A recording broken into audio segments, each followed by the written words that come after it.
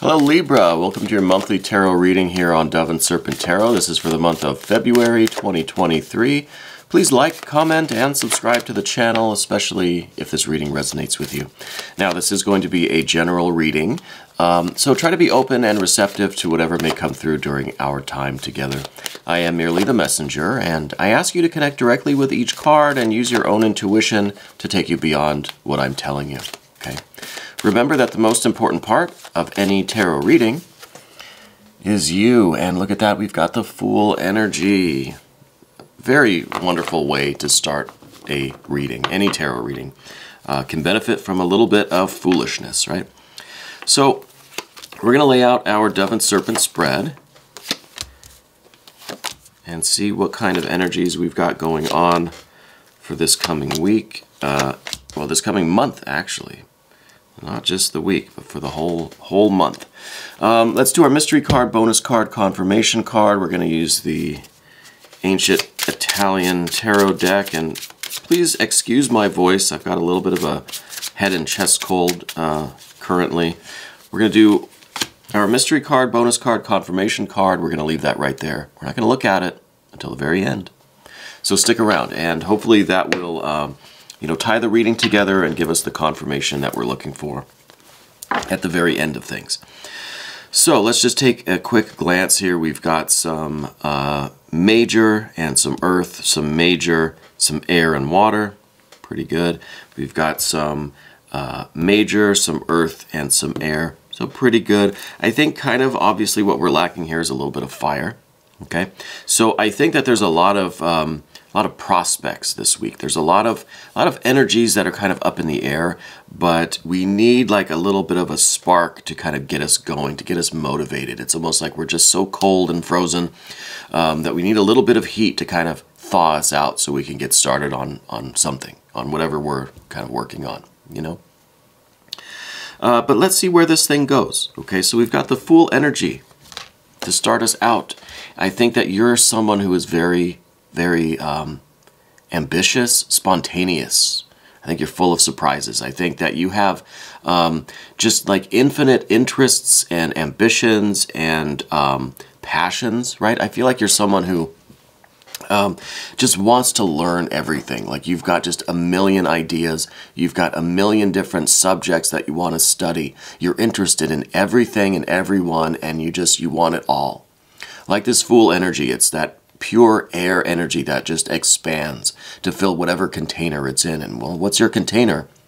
But the entire universe, you know? So you're really trying to expand and take in as much new experiences, people, places, things, information um, as possible. Okay. And that leaves it a little bit like, a little bit uncertain. Okay. Because we don't really know exactly which way to choose. I think you're someone, like I said, who has a million different ideas. How do we narrow it down? How do we get that one, that one idea all the way through to the end, to manifestation, to visible appearance, right? But I think you're full of surprises. I think people maybe from the outside looking in to your life will think, wow, that that person, they don't know what they're doing. You know, they may be, you may confuse people by your actions by the quickness with which you can shift directions. Okay? Intellectually, spiritually, emotionally, maybe physically too. Maybe you're really kind of a, a athletic, light on your feet kind of person. I'm getting this um, this feeling of like running. So I don't know if you're if you're a runner or if you do some kind of sports like that. It's kind of track and field stuff.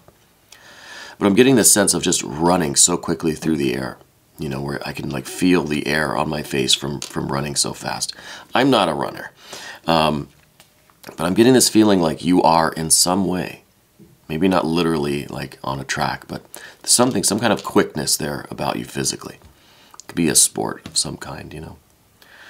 Uh, but anyway, I think this is all part of this air energy in you where um, you just love the spontaneity, right? It's not so much about the finish line or the goal for you.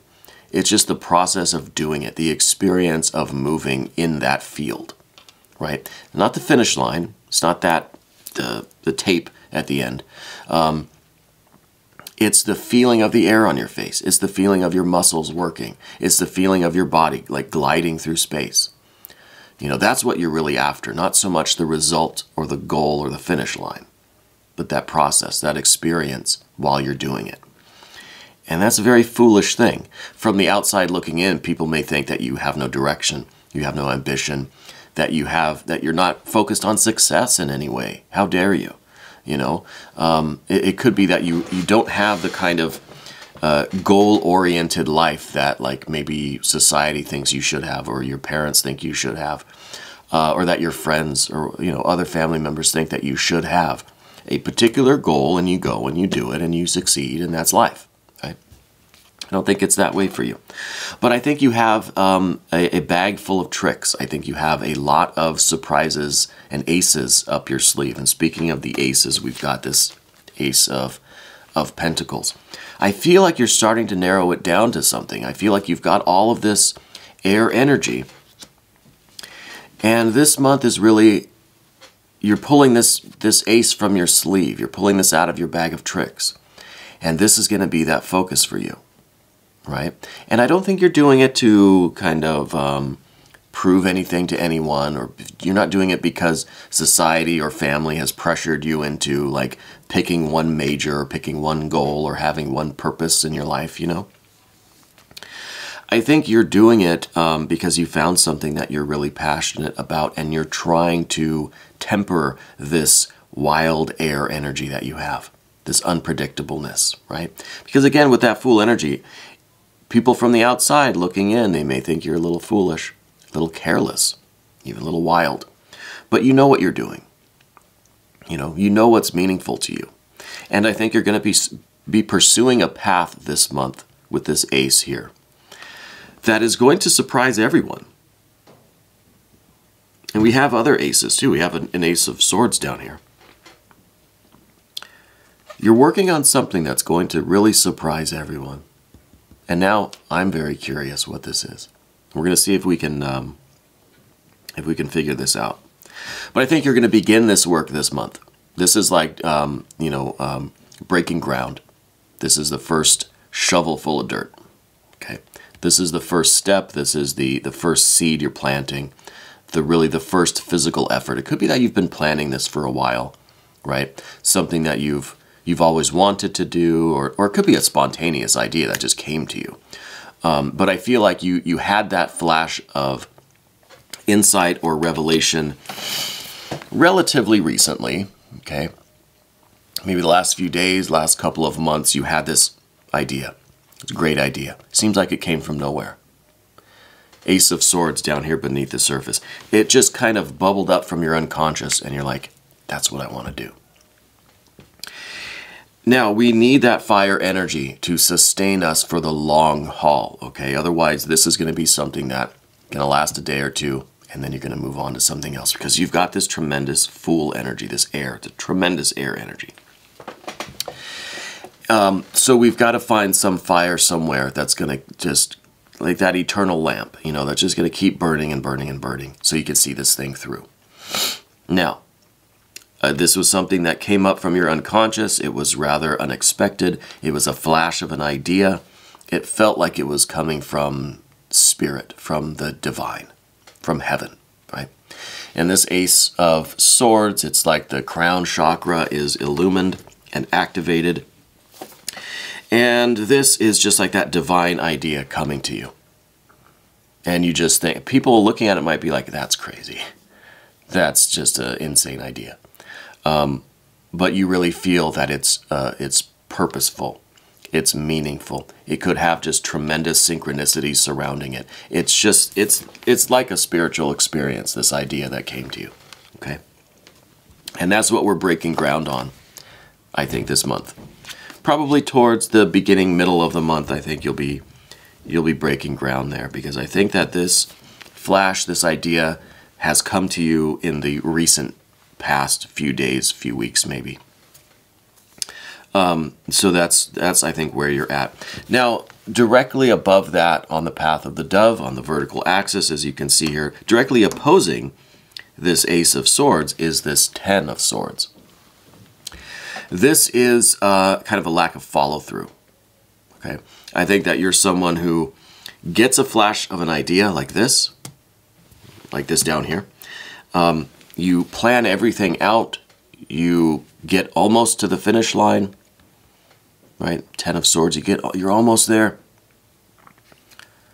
and then you just give up. You lose interest. You move somewhere else.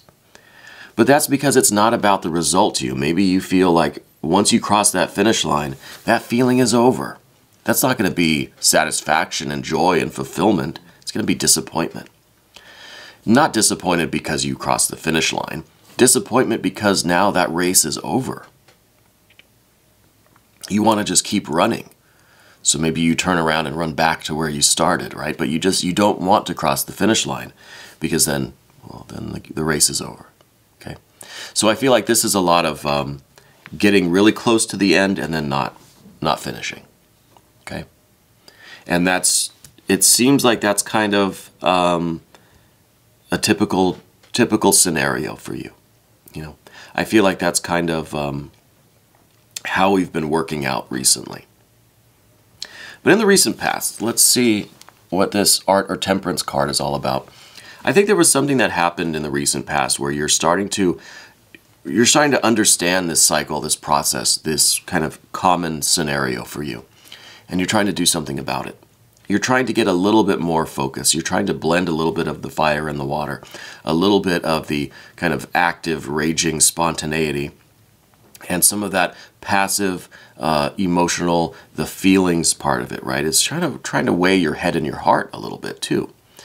Um, so intellectually, maybe you know, uh, reasonable, yeah, I should focus on something, finish it, and, and reap the rewards of it, you know.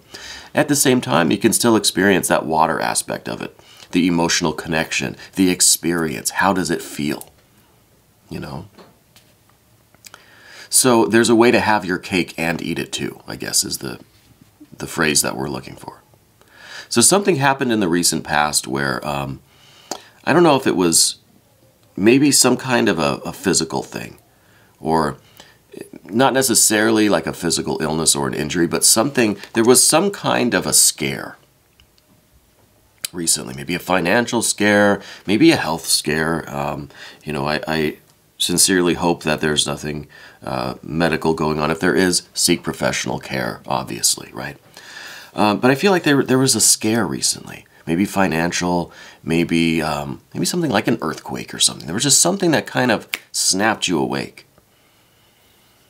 something. We're going to get to that in just a minute, but first, the near future, the um, kind of immediate future, the more the more near outcome is this court card, is this Knight of Cups. This is some fire energy, right? The Knights are the fire aspect of the suit. So this is the fiery aspect of the water, of the cups. So this could be you really moving forward with this blended idea of head and heart, with this blended idea from this with the fire and the water. It could be you taking all of this water, this experience, this feeling, this you you want the experience, you want the immersion in what you're doing. But then also taking it with that fire element. Right? Going the distance. Seeing it through to completion. Not not fizzling out or turning around before you finish.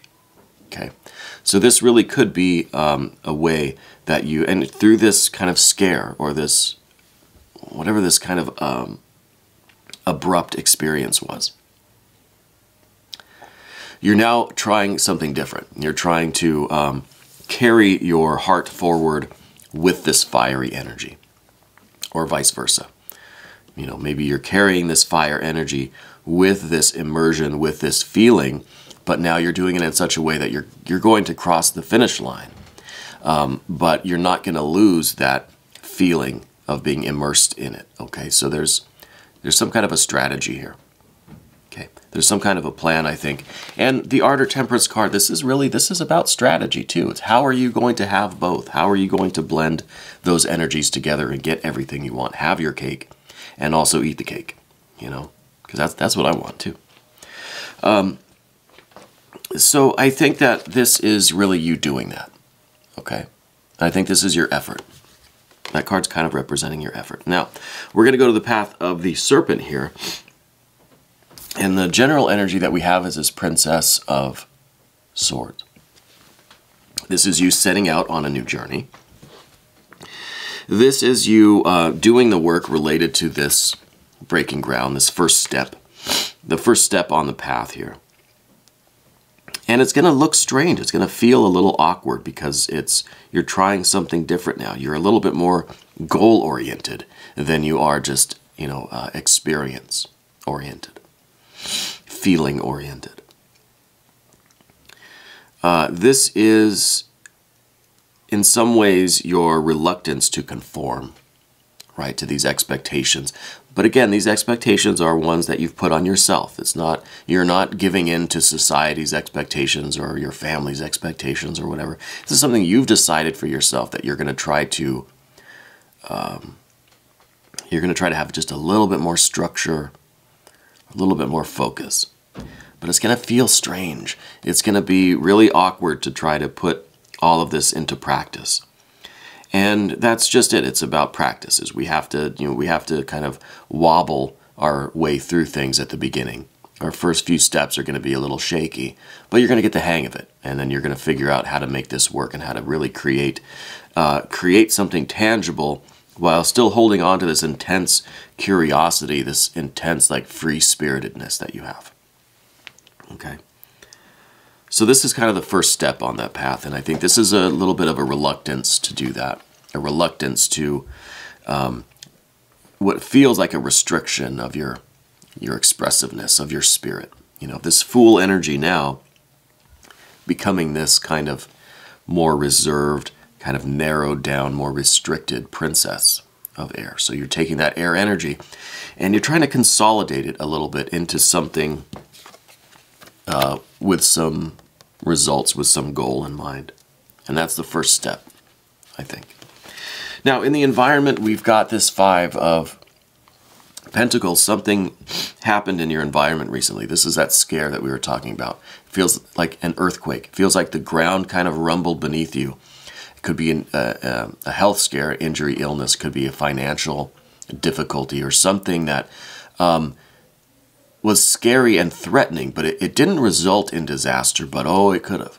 So it kind of woke you up. It was that scare uh, that we're talking about. So I don't know exactly what this is, but there was something recently, maybe five, maybe the maybe within the last five weeks, could be. So you know, last month or so, something happened that kind of woke you up to. Um, okay, it's time now to to get get focused and actually get to it. You know. Uh, the next card is this uh, Queen of Pentacles. This is in your fears, worries, and concerns. This could be a maternal figure. Uh, it could be that you're kind of worried about disappointing this maternal figure. More than that, though, it could be that you're worried about becoming this maternal figure. If there, if there an older feminine energy in your life that you really don't want to become like them. so this could be uh, older sibling. It could be, uh, you know, mom, grandma, great grandma, and aunt or something. But you just see how their life is and maybe just how goal oriented they have been and what it's done to their personality, what it's done to their spirit.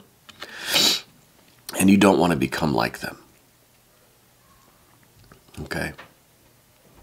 And this person maybe is a little bit materialistic, maybe a little bit shallow, maybe a little bit ruthless and just focused on material wealth and success and goals, and you don't want to be like that person. And it could be why there's been this resistance because this is uh, like a maternal figure that you've maybe always sworn, I'm not going to be like them. Okay. And, you know, I don't think you will ever be like them. We have the priestess card at the very end of the path of the serpent. You have a direct connection with your spirit, with the divine, with God, goddess, deity, universal mind, universal energy, guardian angels, uh, spirit guides, whatever you want to call it, higher self, true self. Uh, you have such a connection with that that there's really no risk of you falling away from this. Okay, this I think is a real like psychic ability for you. I think that in your life you've always had Sorry, I'm starting to get more congested the longer I talk. Uh, you've always had a connection to spirit. And I think as long as you maintain that connection, you've got nothing to worry about. Okay, so this is your spiritual practice, your religious beliefs, your religious practices, your rituals, your divination. Maybe you read tarot or tea leaves or um, geomancy or I Ching, something like that. Uh, or just through through meditation and dialogue and communion, through nature, whatever it may be, ritual, worship, prayer. You maintain your connection with spirit, and I think you you don't have anything to worry about. This is what is going to be guiding you ultimately. Okay, and it's very important to to to keep hold of that. Otherwise, yes, may, maybe you will fall too much into this earth energy okay? But you can do this and you can maintain that connection to spirit. And that's going to be i think the uh, the crux of the matter. That's really is what what's going to hold all of this together okay? Let's do this mystery card now um, before i sneeze. Um, i don't know what this could be. Let's just let's take a look. Maybe something uh, fire related okay? Maybe something fire related. No that's that temperance card again Beautiful ancient Italian tarot deck, the Temperance card. This is really, you know, echoing what we were talking about here, how it is possible for you to um, to have your cake and eat it too. Like there's just no other way to say it. Uh, you're going to have all of this freedom and curiosity and free spiritedness and openness and expansiveness and exploration and adventure. And you can also stay on a path, follow something through, and get to the end and, and reap the rewards from it. You know, um, just because you're you are what's maybe feels at the beginning feels like conforming, you're still going to have the connection to spirit. You're still going to have all of this freedom and all of this feeling, and it really is through the spirit, the connection with divinity that we have here, that is the glue that is holding the fire and the water together. Okay, and this really is a beautiful card.